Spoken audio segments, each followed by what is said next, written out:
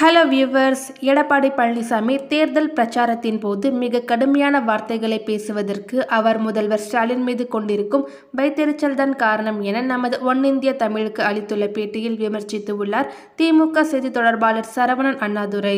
ஈரோடு கிழக்கு இடைத்தேர்தல் பிரச்சார களத்தில் எல்லை மீறிய வார்த்தைகளில் விமர்சனங்கள் வைக்கப்பட்டு வருகின்றன. உதயநிதி ஸ்டாலினுக்கு எதிராக அண்ணாமலையும் செங்கலுடன் பிரச்சாரம் செய்கிறார். இந்த நிலையில் ஈரோடு பிரச்சார களம் எப்படி இருக்கிறது? இந்த கடுமைக்கு காரணம் என்ன என்பது பற்றிய நமது கேள்விகளுக்கு திமுக செய்தி தொடர்பாளரும் தணிக்கை குழு உறுப்பினருமான வழக்கறிஞர் சரவணன் அண்ணாதுரை பதிலளித்து உள்ளார் மேலும் அமைச்சர் உதயநிதி ஸ்டாலின் ஈரோடு கிழக்கு பிரச்சாரத்தை முடித்துள்ளார். விரைவில் முதல்வர் ஸ்டாலின் பிரச்சாரம் செய்ய போகிறார்.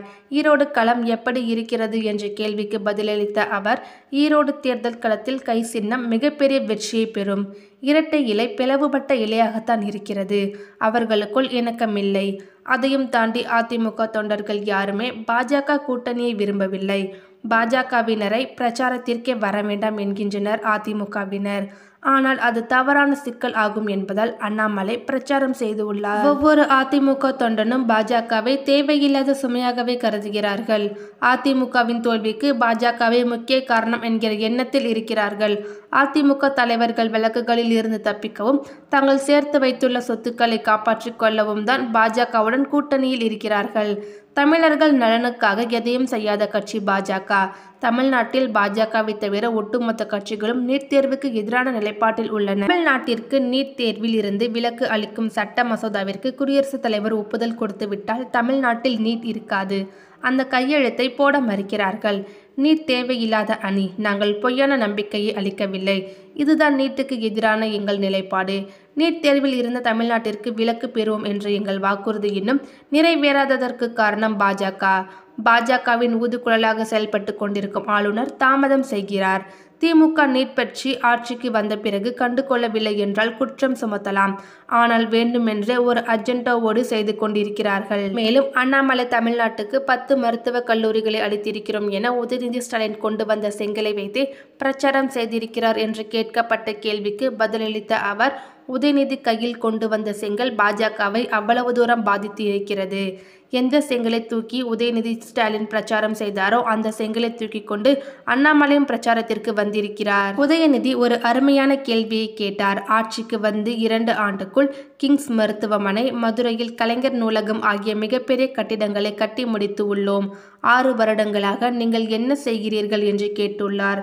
மேலும் செங்கல் பிரச்சாரம் மனதளவில் தாக்கியிருப்பதால் அதே ஆயுதத்தை அவர்களும் எடுத்திருக்கிறார்கள் என்பது உதயநிதி பிரச்சாரத்தின் மிகப்பெரிய வெற்றி. மேலும் திமுக கொடுத்த வாக்குறுதிகளை நிறைவேற்றவில்லை.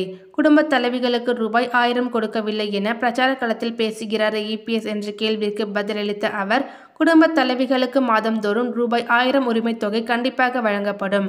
ஆட்சிக்கு வந்ததுமே ரூபாய் நான்காயிரம் கொடுத்தோம்.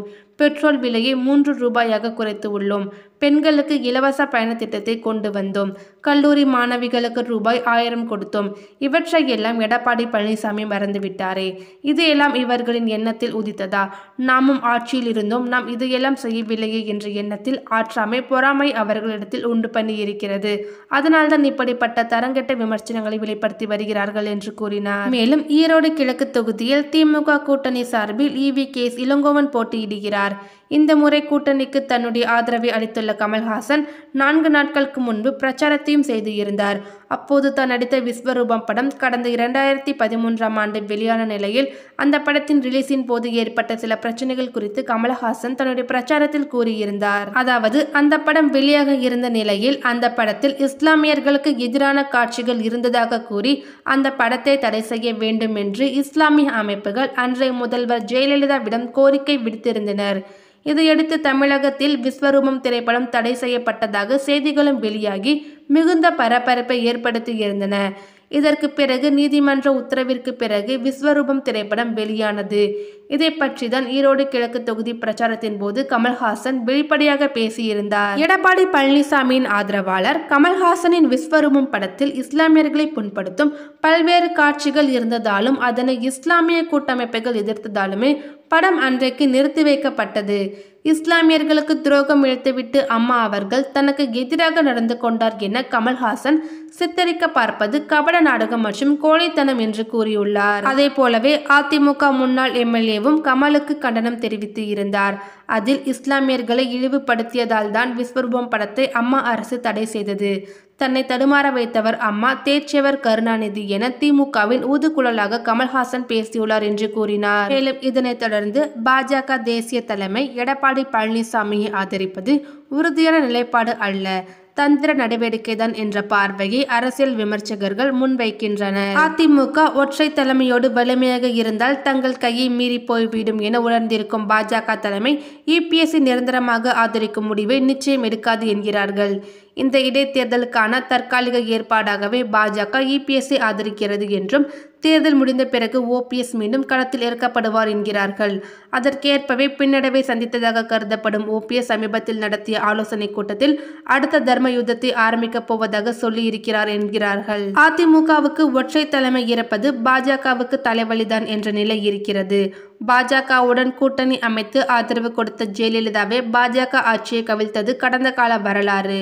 மேலும் இரண்டாயிரத்தி பதினான்காம் ஆண்டு நாடாளுமன்ற தேர்தலின் போதும் நாடு முழுவதும் மோடி அலைவீசிய போதும் மோடியா லேடியா என்ன முழங்கி தனது பலத்தை நிரூபித்தார் ஜெயலலிதா. எனவே அதிமுகவின் ஒற்றை தலைமை தங்களுக்கு சவால் விடக்கூடியது என்பதை பிரதமர் மோடி உணர்ந்திருப்பதாகவும் சொல்லப்படுகிறது. மேலும் ஜெயலலிதா மறைவுக்கு பிறகு வி. கே. சசிகலா பெரும் பலத்தோடு எழுந்த நிலையில் ஜெயலலிதாவை போல வலிமையான நிலையை சசிகலாவும் எட்டுவாரா என்ற எதிர்பார்ப்பு எழுந்தது. அப்போது சசிகலா முதல்வராக முடியாமல் அவர் சிறைக்கு செல்ல நேரிட்டதும் டிடிவி தினகரன் பாஜக அரசால் தொடர்ச்சியாக குறிவைக்கப்பட்டதும் தற்செயல் நிகழ்வு என்று எடுத்துக்கொள்ள முடியாது. இதற்கு பின்னணியில் அதிமுக பலத்தோடு இருப்பதை பாஜக தலைமை விரும்பவில்லை. ஏதோ ஒரு பலவீனத்தோடு தங்கள் கைக்குள் இருப்பதையே பாஜக தலைமை விரும்புவதாக தெரிகிறது என்கிறார்கள் அரசியல் பார்வையாளர்கள். அப்படி இருக்கும்போது தற்போது எடப்பாடி பழனிசாமியை மட்டும் ஒற்றை தலைமையாக பாஜக தலைமை எப்படி ஏற்றுக்கொள்ளும் என்ற கேள்வியும் முன்வைக்கப்படுகிறது. ஈரோடு கிழக்கு இடைத்தேர்தலில் இபிஎஸ் ஓபிஎஸ் இருதரப்பும் வேட்பாளரை அறிவித்த நிலையில் யாருக்கு தங்கள் ஆதரவு என பாஜக அறிவிக்காமல் இழுத்தடித்தது? உச்சநீதிமன்றம் பிறப்பித்த உத்தரவின் அடிப்படையில் தென்னரசு அதிமுகவின் வேட்பாளர் வேட்பாளராக தேர்வு செய்யப்பட்டதால் ஓபிஎஸ் பின்வாங்கினார் அதன் பிறகுதான் பாஜக அதிமுக வேட்பாளருக்கு ஆதரவு தெரிவித்தது. மேலும் அதிமுக இடைக்கால பொதுச் செயலாளர் எடப்பாடி பழனிசாமி என பாஜக மாநில தலைவர் அண்ணாமலை குறிப்பிட்டார். இதனால் பாஜக ஓபிஎஸ்ஐ கைவிட்டதாக பேச்சுக்கள் எழுந்தன.